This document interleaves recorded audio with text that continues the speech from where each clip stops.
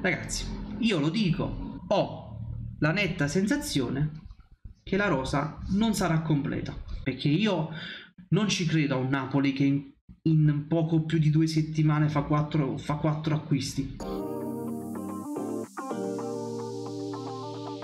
Buon pomeriggio ragazzi, bentornati sul canale, benvenuti in questo nuovo video, io sono Dario Detto e Darion e oggi siamo qui per commentare la bellissima giornata di ieri. Sono successe tante cose ieri, tante cose brutte, ecco, mi verrebbe da dire soltanto brutte, e quindi eccoci qua. Allora, eh, prima, prima di cominciare una piccola parentesi, come ben sapete ieri avevo caricato sul canale il video sullo scopriamo di Brescianini video che stava andando anche abbastanza bene, un 200 persone più o meno l'avevano visto e stava andando abbastanza bene. Che è successo però?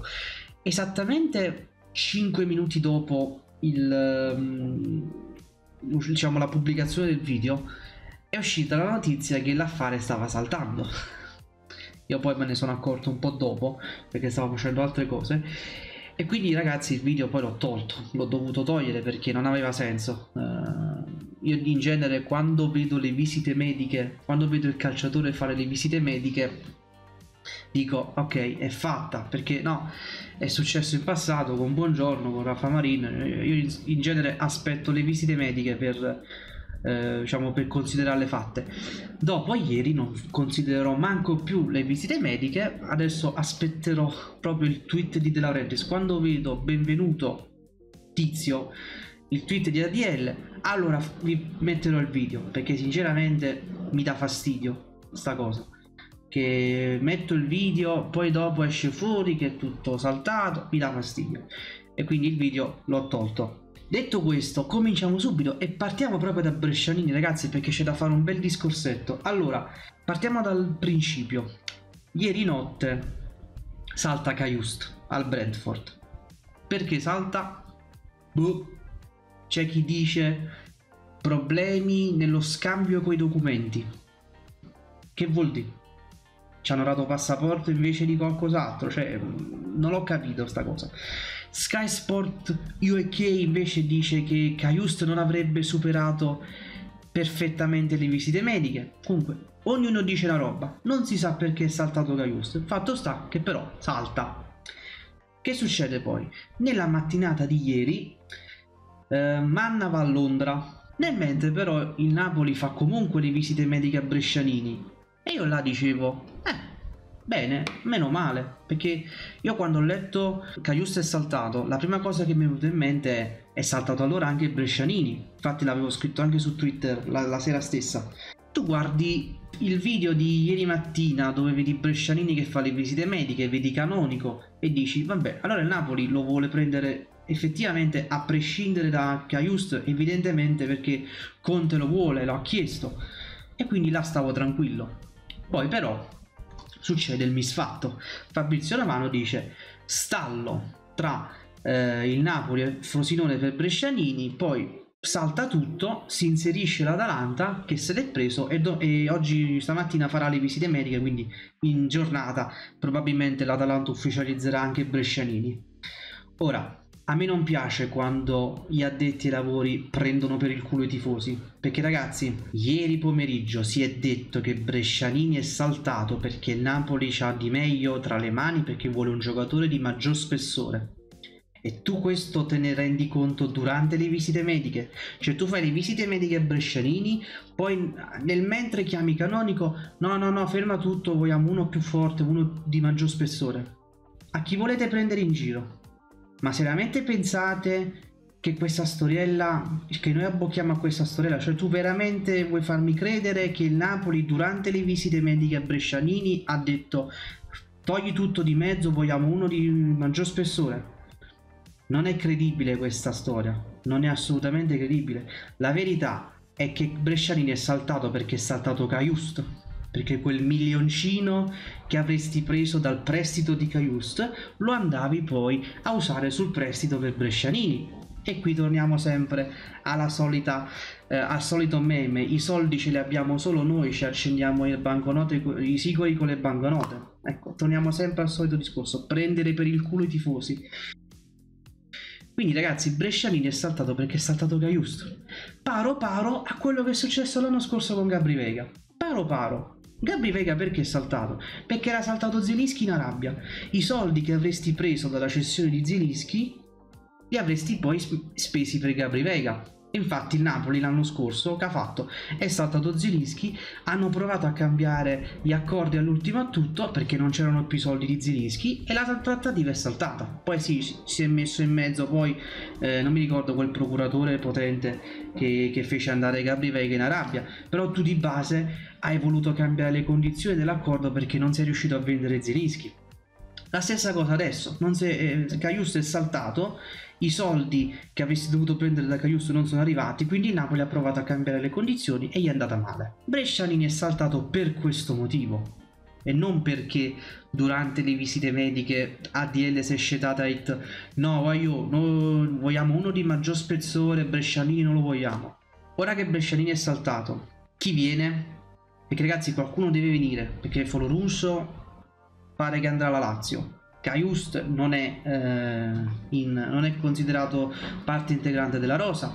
Tu oggi a livello effettivo c'hai due centrocampisti, Anghissà e Lobot, non c'hai cambi. A livello effettivo domenica ci avrai due centrocampisti. Ok? Ora, chi viene al posto di Brescianini? Ieri si è fatto un nome che a me piace molto, che però non so se, posso, se, se, può essere preso. Ragazzi perché se Brescianini è saltato per un milione questo come lo pigliamo? Di chi sto parlando? McTominay questo centrocampista scozzese di 27 anni del Manchester United. Eh, ragazzi McTominay sarebbe perfetto nella mediana 2 perché è quel giocatore box to box quel centrocampista che sa fare sia la fase difensiva che la fase offensiva, cioè il tiro da fuori, sa accompagnare l'azione, ha una freddezza sotto porta che fa paura.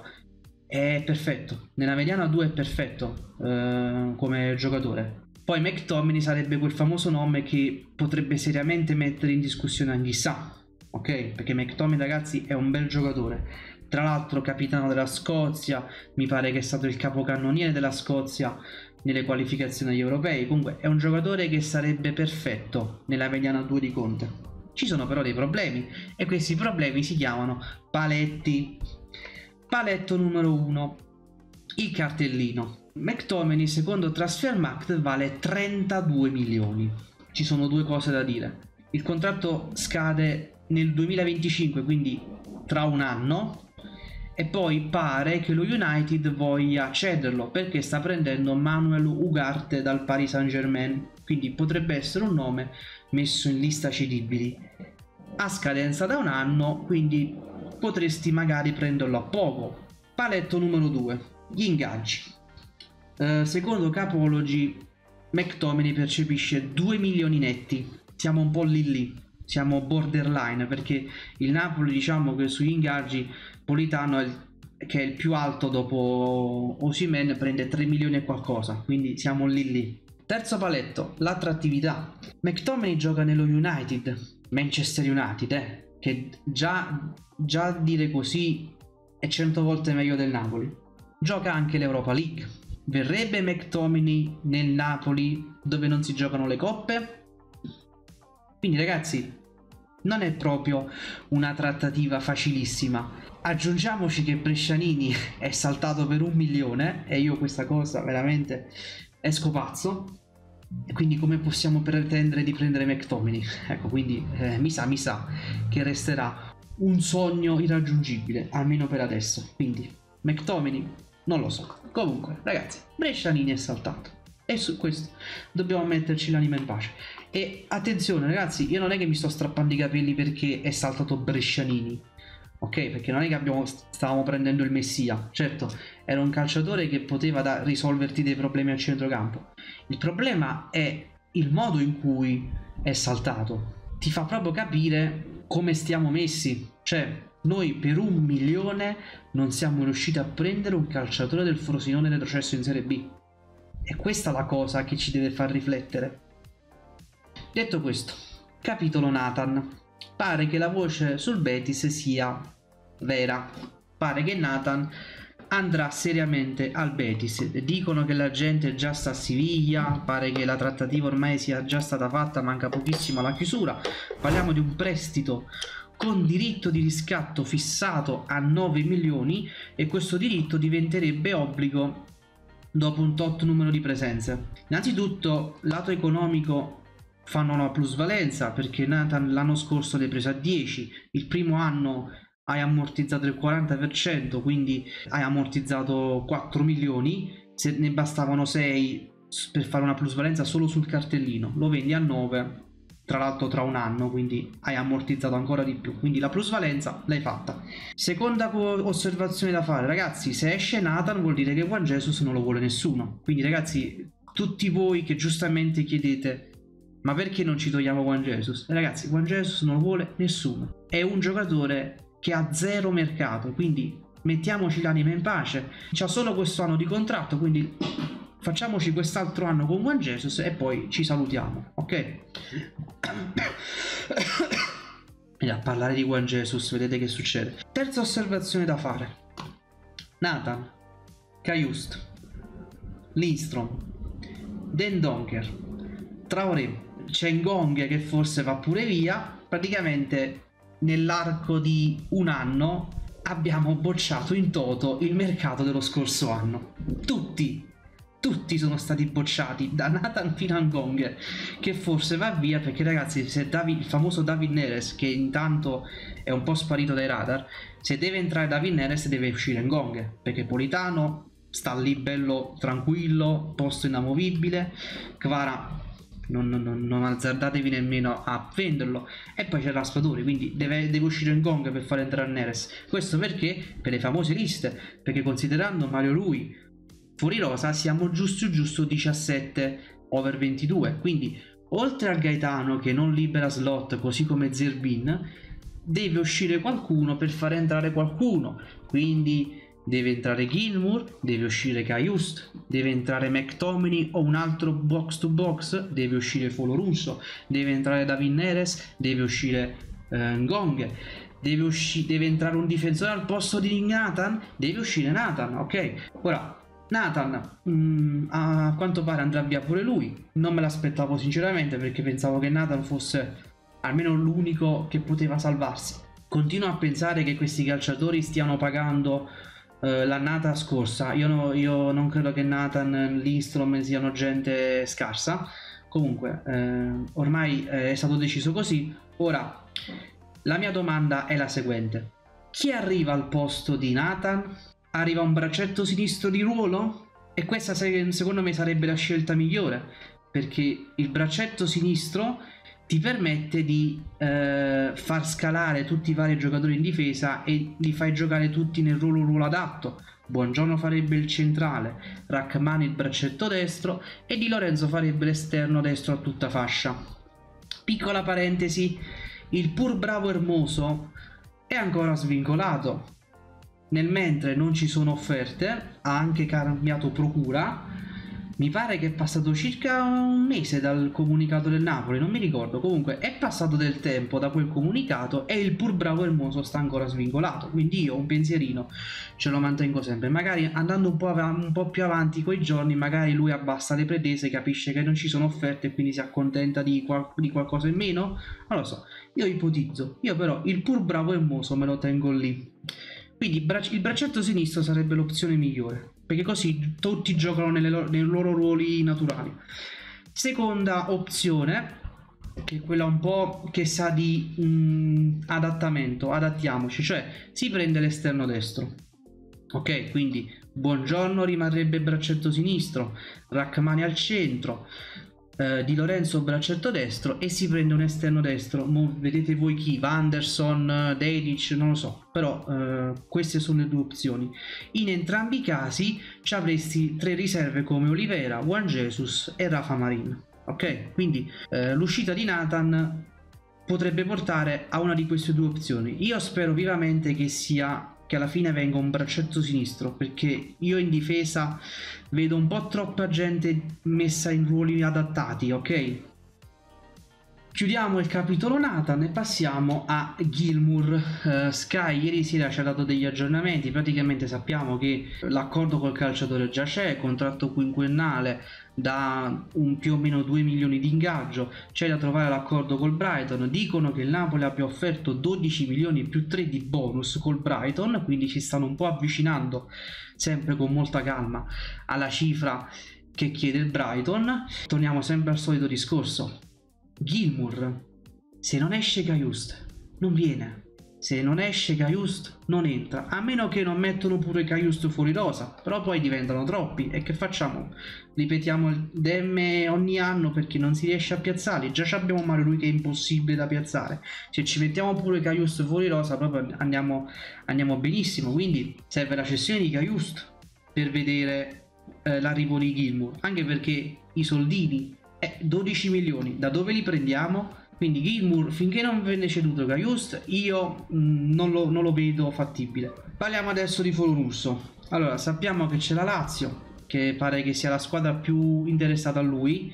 Eh, l'abbiamo già detto, Vivaio Lazio, è un giocatore che piace a Baroni. Il DS Fabiani ha praticamente detto che c'è da fare prima delle uscite. Quindi ragazzi, eh, detto in parole povere, questo l'ha detto anche Pedulla, eh, non è una roba che si risolve in pochi giorni. Addirittura Pedulla ci, ci ha detto che la trattativa potrebbe slittare dopo la prima giornata, cioè quindi settimana prossima. La valutazione è attorno ai 12 milioni. 12 milioni Folorusso, 12 milioni Gilmour, ok? Dopo la prima giornata, praticamente settimana prossima. Meglio che non dico altro. Eh, avevano parlato di un prestito biennale per Folo Russo, io però mi ricordo che i prestiti biennali erano stati cancellati, non è più possibile farli, comunque. Ragazzi, se ne parla settimana prossima. Capitolo Lukaku e qui poi chiudiamo il video. Allora, ieri eh, nuovo, nuovo capitolo, nuovo round della tele telenovela Osimen Chelsea. L'ultima offerta che hanno detto adesso è che il Chelsea avrebbe dato Lukaku più 60 milioni più 10 di bonus per Osimen. E io dico, se questa è vera, se questa offerta è vera, accettate, acc non fategli manco finire il discorso, dite sì, accetto, venitevelo a pia. Grazie, 60 più Lukaku, quanto va Lukaku? 20-30? Quindi siamo già sugli 80-90 e già siamo a posto. Poi ti danno pure 10 milioni di bonus. Ve lo porto io in spalla Osimen se queste sono le, le, le cifre. Qual è però il problema? È che Osimen non vuole andare al Chelsea perché c'ha l'accordo col Paris Saint Germain che evidentemente gli offre di più. Ba ba basta, basta ragazzi, basta. Non voglio più dire niente perché altrimenti mi, mi, mi innervosisco. Dico soltanto una cosa. Dico soltanto una cosa. Oggi è il 14 agosto.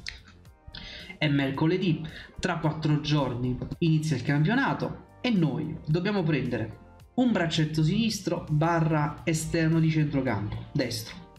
Due centrocampisti, le riserve di Lobot che Anghissa. Un trequartista, se è vero che Ngong va via. Il centravanti titolare, più la riserva se parte Osimen quindi a 16 giorni dalla fine del mercato il Napoli deve fare sicuro 4 acquisti di cui 2 titolari. 16 giorni.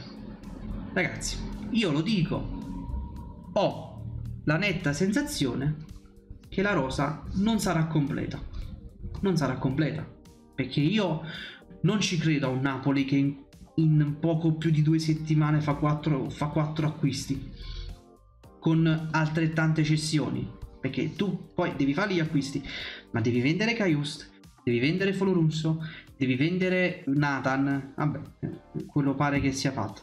Devi poi vendere Simeone, devi poi vendere anche Kedira, devi vendere Gong, che sarà difficile perché tu Gong l'hai preso a gennaio. Quindi Basta, non, silenzio. Il silenzio vale molto, vale più di mille parole. Quindi, ragazzi, questa è la situazione. A oggi, 16 agosto, vi aspetto nei commenti. Io chiudo qua perché altrimenti rischio veramente di alterarmi e di dire cose poco carine quindi eh, fatemi sapere la vostra nei commenti lasciate un bel like se il video vi è piaciuto iscrivetevi mi raccomando se siete eh, se, se, i miei contenuti vi piacciono è totalmente gratis e attivate la campanella per rimanere sempre aggiornati sull'uscita dei miei nuovi video. Detto questo ragazzi noi ci vediamo alla prossima sempre e comunque forza Napoli perché quello non mancherà mai. Domenica si gioca e non vado oltre. Ciao